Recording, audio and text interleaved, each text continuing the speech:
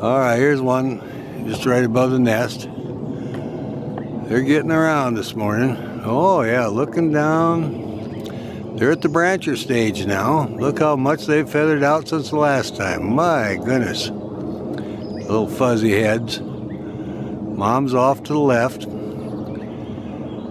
The other three are off on their limbs. Oh yeah, he's getting around pretty good, this one.